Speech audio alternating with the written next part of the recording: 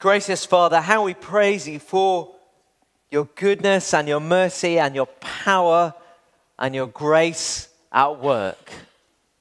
And we pray that we would delight in you, Father, Son, and Holy Spirit this morning. Amen. Well, as I said, as Peter said as well, we are thinking this morning about the Holy Spirit. And I want you to imagine that you've, uh, you've gone to a party or you're at the bus stop and you meet someone and you get chatting and you chat for a little while, don't you? And then after a while, you say, Oh, what do you do then? And you, you hope it's nothing weird. That's kind of a normal question, isn't it? It tells you about someone and you kind of understand them. And now I want you to imagine that you're at the party you're at the bus stop and you get chatting and you're, it turns out you're chatting to uh, the Holy Spirit. Just work with me for a moment and you're chatting to the Holy Spirit and you say, Well, what do you do then? I wonder what you think the answer would be. Just what is it that is the work of the Holy Spirit? And that's what we're going to think about together this morning. Uh, just if you're new or, or, visiting us, you're really welcome. Just to explain, um, so normally we have a, a sermons that work through a book of the Bible in series from, from start to finish. And then I'm not allowed to skip the difficult bits, and we hear what God is saying. But occasionally we'll have a, a kind of one off sermon on a particular topic. And that's what we're doing this Sunday.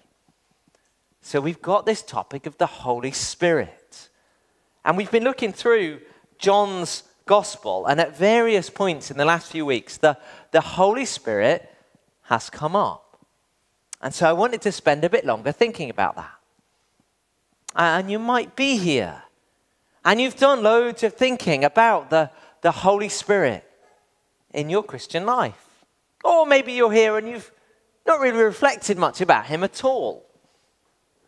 And we are going to be thinking this morning these two questions who the Holy Spirit is and what the Holy Spirit does. So, these two questions who the Holy Spirit is and what the Holy Spirit does. And we're going to do that with a, a couple of bits on the piece of paper that I've given out. Um, so, you'll see, if you look at it, if you grab that in front of you, the first section, so the front and most of the back. That's our, we call it our, our kind of doctrinal basis. They're the key things that we believe as a church. Okay, so we want to know what we're all about as a church is these things. And I've put in bold the couple that we're looking at, especially today.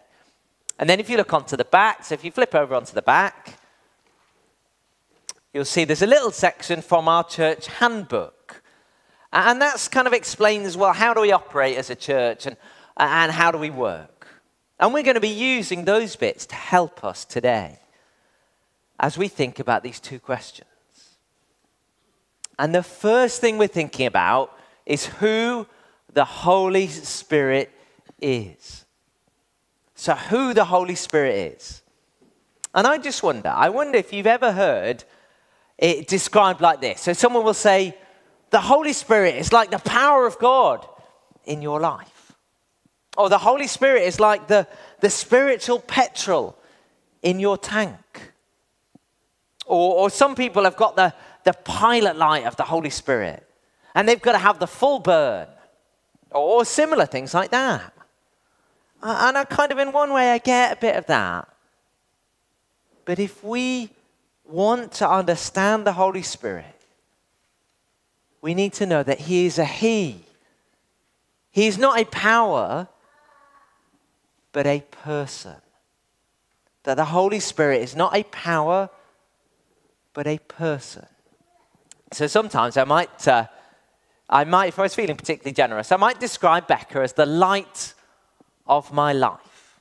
Okay, she is the light of my life. But you wouldn't misunderstand that. You wouldn't think, oh, well, she's just like a torch and he kind of flicks her on and off. No, you'd think that's just a way of explaining a part of who she is. And so it is with the Holy Spirit a real person, a member of God, Father, Son, and Holy Spirit. to be related to and known about and loved and worshipped. So we've got a sermon today about delighting in a person. This is not a physics lesson about power. It is delighting in a person. And so I want you to grab that little section of the, the basis that you've got in front of you. And just want to be clear this is entirely based on how we understand the Bible. So this is not removed from the Bible, it's not something that we've just made up. This is how we'd sum up what the Bible says on these important topics. So we're going to have the Bible open a bit less today, but we've got it kind of summarized on here. So just look with me at that first one. There is one God who exists eternally in three distinct but equal persons the Father, the Son, and the Holy Spirit. God is unchangeable in his holiness, justice, wisdom, and love. He is the Almighty Creator, Savior, and Judge who sustains and governs all things according to his sovereign will for his own glory. Do you see how that's quite a long way from a pilot light or a petrol tank, isn't it? That the Holy Spirit is one of these persons of the Trinity that the Holy Spirit is personal God, just like the Father and the Son. So if you're here and you think, well, what do we believe as a church? We believe that there is a God who is real and knowable.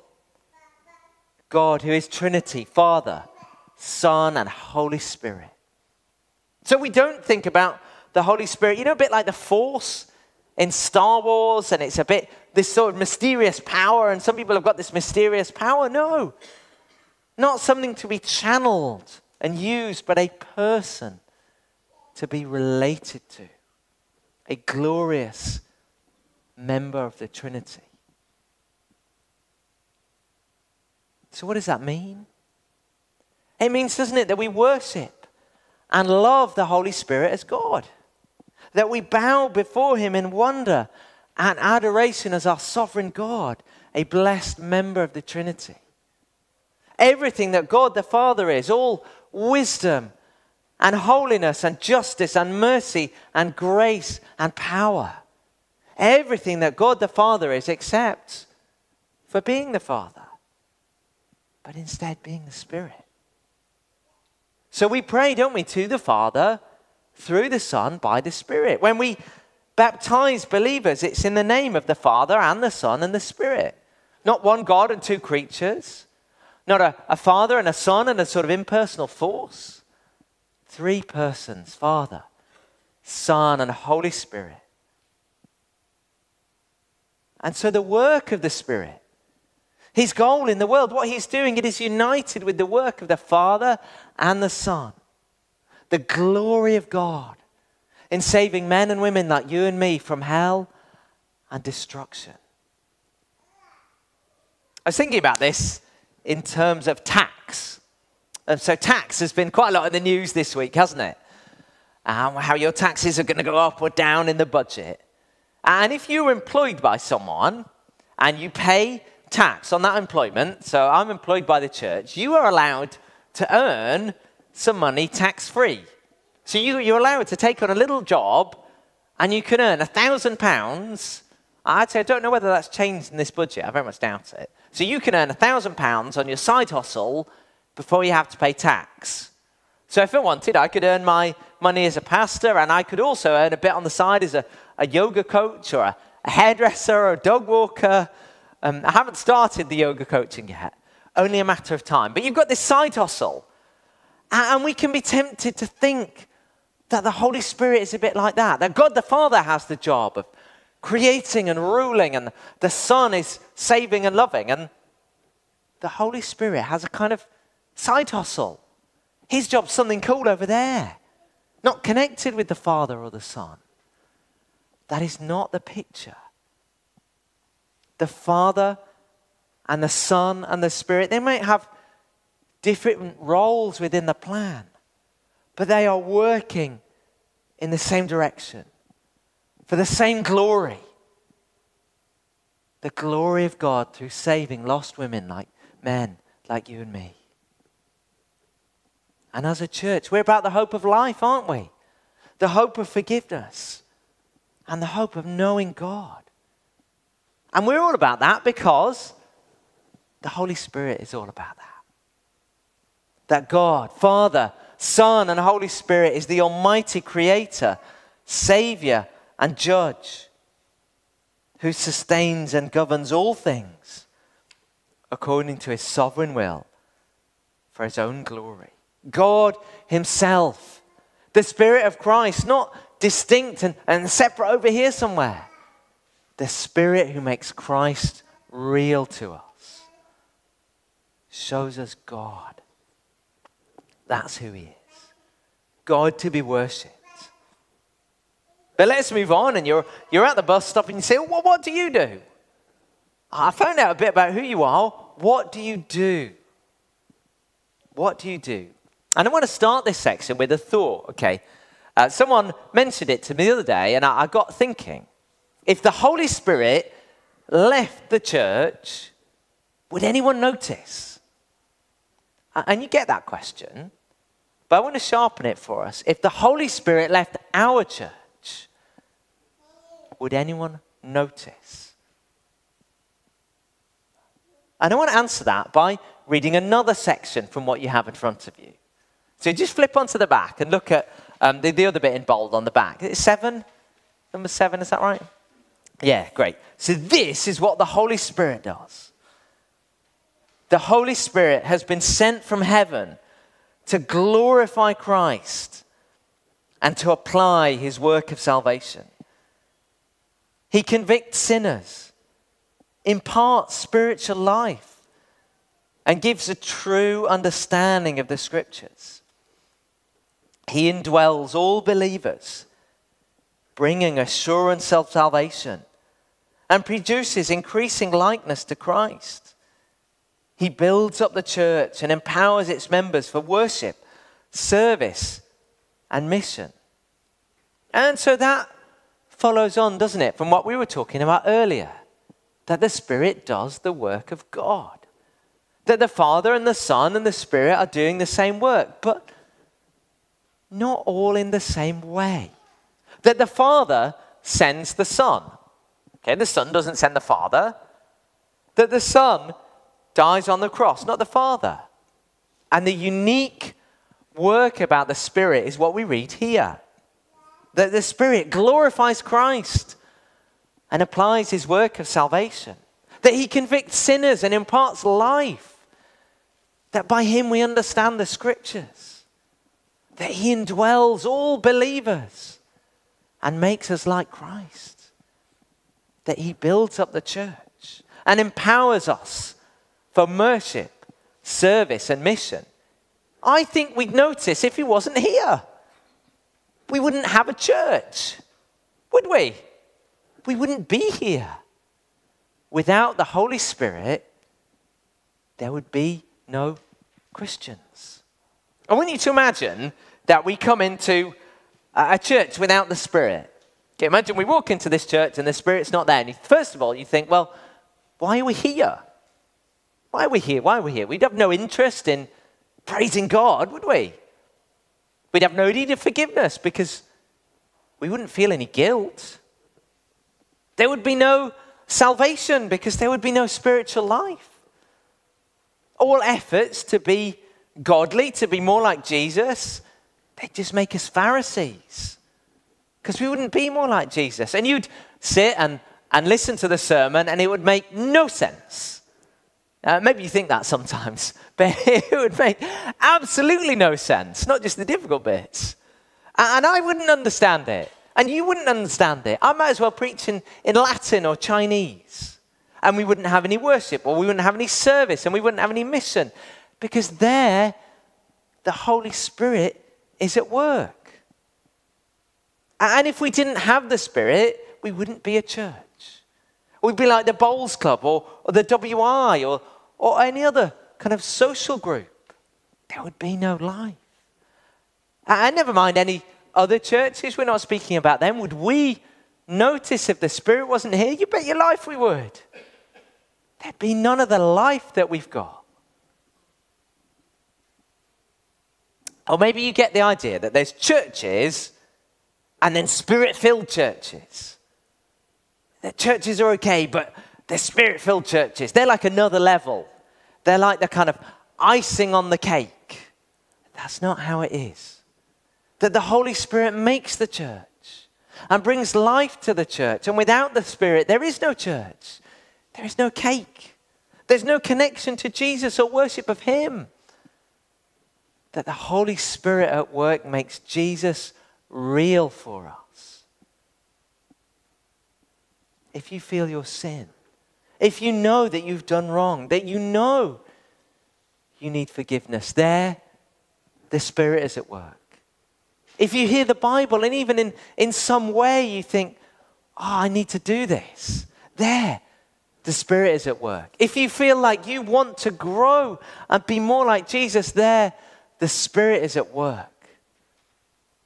And sometimes people will talk about the Holy Spirit and they'll say, well, he's like the shy member of the Trinity. I hate that. I kind of get the point, but I don't like that. It's not the Spirit is somehow less bold, but his job is to glorify Christ and bring Christ to us.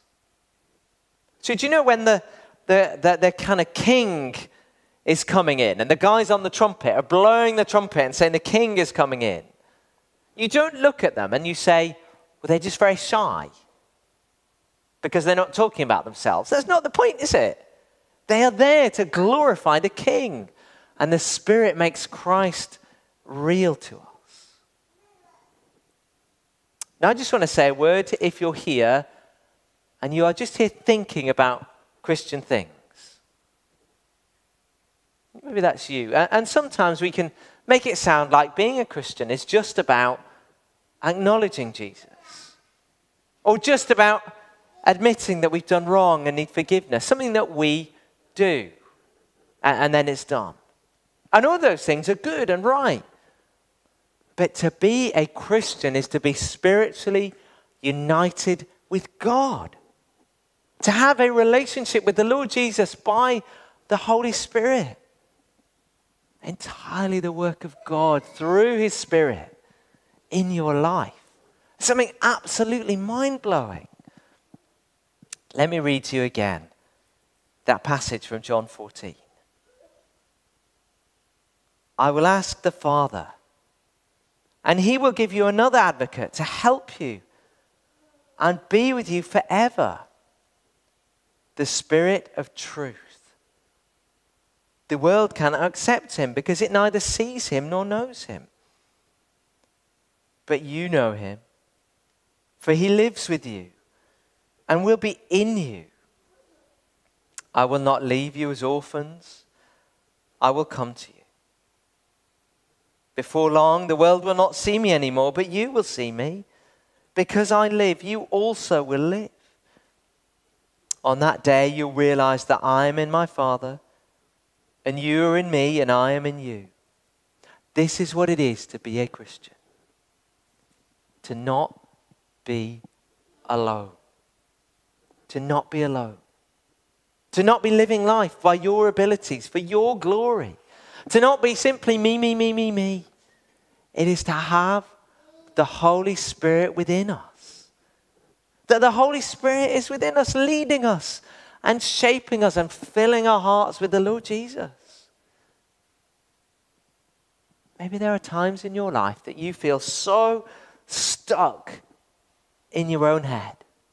You ever have that? You just hear your voice going over and over again. God's promise is the Spirit within each one of us, making each one of us slowly over time into the person we know that we should be, but we know that we're not.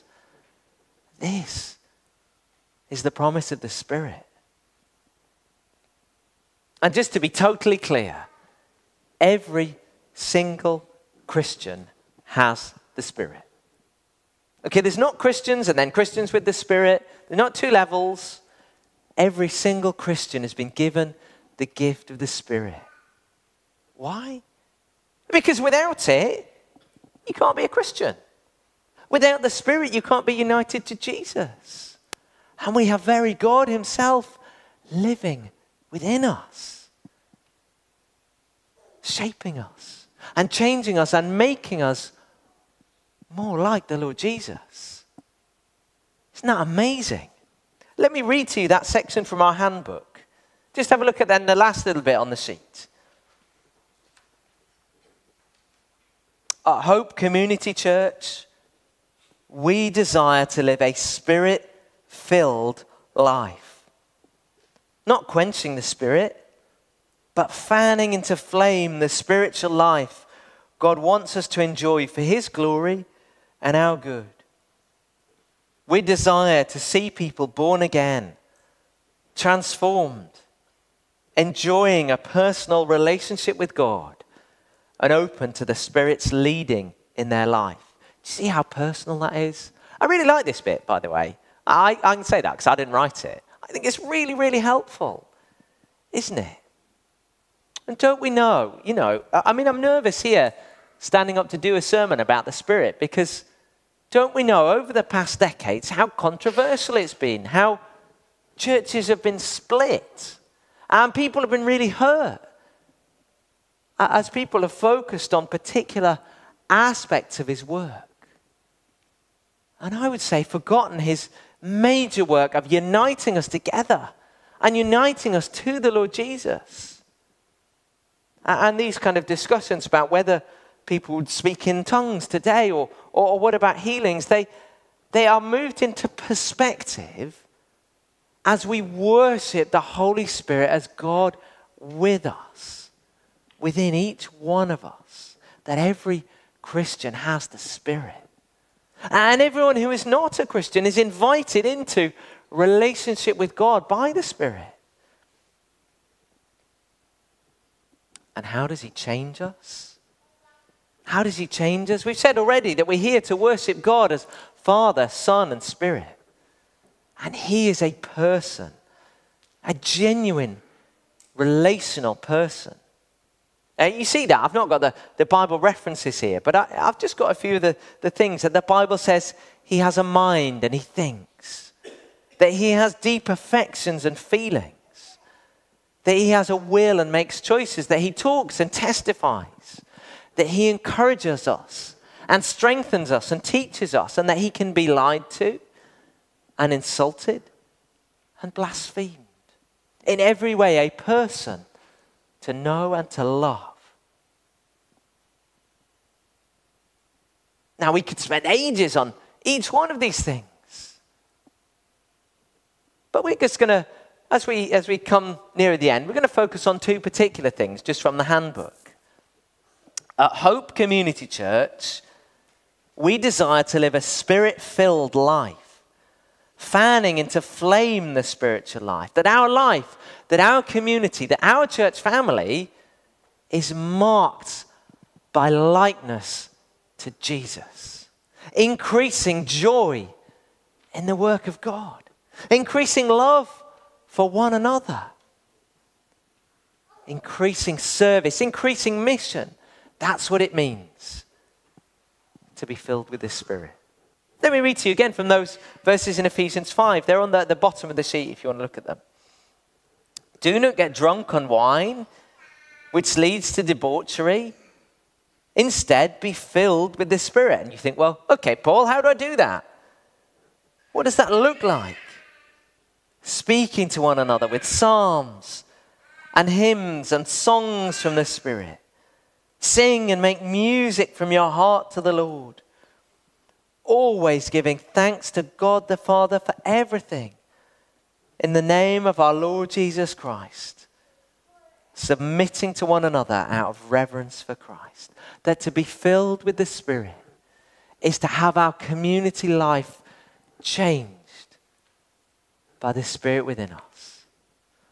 We're filled with the Spirit and how we behave to one another and how we behave to God. And you read that in Acts as well. What does it mean to be filled with the Spirit in Acts? To have courage and boldness to speak the word of God, to declare to those around us the glories of Jesus and his resurrection power. That the Spirit is declaring the glories of Christ. And to be spirit filled means to do that. And isn't that what we long for? Isn't that what we pray for? That we would be filled to overflowing with the glories of Christ. We desire to see people born again, transformed, enjoying a personal relationship with God, and open to the Spirit's leading. Isn't that what we pray? That the Spirit would shape us. And finally, let's have a look at the last bit. We desire to live a spirit filled life, not quenching the Spirit. What does it mean? It means to ignore His voice. When He speaks to us about Christ through His Word, we quench the Spirit when we put Him on mute, when we put our fingers in his, our ears and we don't want to hear what He's got to say. And through this section of John, we've seen He glorifies Jesus. He brings Jesus to us. And he brings his word to our heart. And we quench the spirit when we mute that voice. When we do not allow God's words through the Bible to speak in our lives. And we need to listen. What would it look like to ignore him? I think we know. I think we know when the Spirit has been speaking to our hearts through the Word, and we just we forget about that bit of the sermon. Or maybe we focus on a, a little detail in the sermon, but actually we ignore the big thing. I was in, I don't know if you've ever been in a group like this, but I was in a group once where we, we loved talking about the Bible. And we would talk about all the, the little details of the passage. I wonder what this little complicated bit means and the, the technical questions. And we'd look at all the different Bible translations. And we spent almost no time changing our lives. Have been in a group like that? Because that's the uncomfortable bit when the Holy Spirit wants to change my life. Oh, I knew a, a gentleman who would always come up at the end of the sermon and he would ask a question. But it wasn't ever about how does this change my life? It was a technical question or a question about other people. And that can be our heart. I wonder how this would apply to them over there. I wonder what you do at the end of a sermon. When the Holy Spirit has spoken to you. That's what it looks like to, to put out his voice. Say, I'm not bothered about that. It's lovely, isn't it, when we chat at the end of the service? We need to give time and space for the Spirit to be at work in this rush, rush world. That He glorifies Christ by making us like Him. When we started with those two questions Who is He? God, the Spirit of the Father and the Son. And that makes what He's come to do so incredible to make God real to us that every single believer has the Spirit. Isn't that worthy of our worship and our praise? A delight in God, Father, Son, and Holy Spirit. God at work in us.